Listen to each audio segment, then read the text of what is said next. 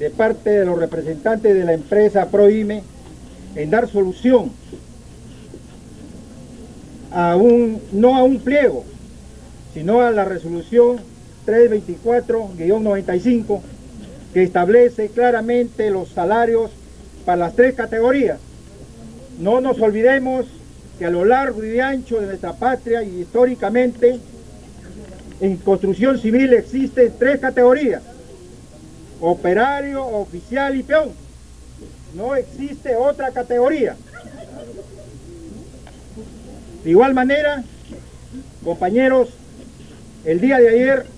tomando conocimiento a través del secretario general de la situación a la que se había tenido en el municipio con presencia del representante de la empresa, hemos coordinado con la federación, concretamente con el ingeniero, con el compañero Mario Guamán y el compañero Vera, con la finalidad de tomar acciones coordinadas, Reitero acá, nuevamente, la intención de la federación y de los trabajadores no es ocasionar problemas alguno. Todo lo contrario, si aquí se estuviese cumpliendo con lo que establece las normas legales del régimen de construcción civil,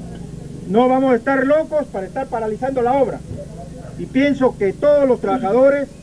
estarían laborando y la empresa cumpliendo, cumpliendo con su cronograma de obra. Y tampoco tendríamos por qué estar de repente creando algún tipo de problema a los moradores de este sector, que una vez más les pedimos nos sepan comprender y nos sepan disculpar, porque los trabajadores no tenemos otra alternativa desgraciadamente, para hacer valer nuestros derechos. Es por ello el día de ayer hemos coordinado, como reitero, con los compañeros de la federación para hacer una acción conjunta.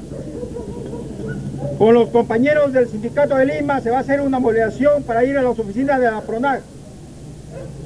para que también el dueño de la obra tome conocimiento allá y presione y sepa lo que viene sucediendo acá. Y también de la misma manera se va a ir otro contingente a las oficinas principales de la empresa